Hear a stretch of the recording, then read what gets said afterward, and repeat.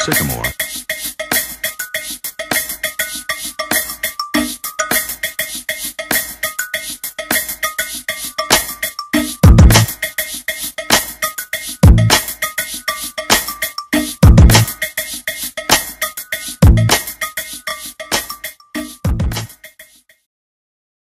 The perfect pomegranate has three characteristics a nice round shape, shiny skin, and that it feels heavy for its weight. St. Joseph Hy-Vee dietitian Sheri Caldwell is going to show us the easiest way to dig into your pomegranate. First, start by scoring and cutting off the tip of the pomegranate.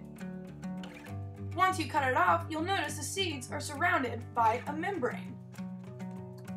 Pomegranates are considered nature's jewel and are one of the top health superfoods, containing many antioxidants, as well as many health benefits like the reduction of hypertension and heart disease.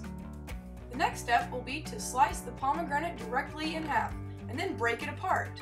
Proceed by separating the seeds from the skin in your prepared bowl of water.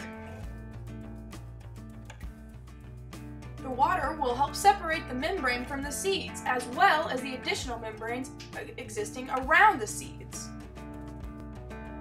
Be able to see the membranes floating on top of the water. After the seeds have soaked in the water for a while, you can remove them and begin to eat them just as they are, sweet and delicious, or use them in your favorite recipe. Pomegranate seeds go great in salads. Contact Sheri Caldwell if you have any questions or want some advice on some great pomegranate recipes.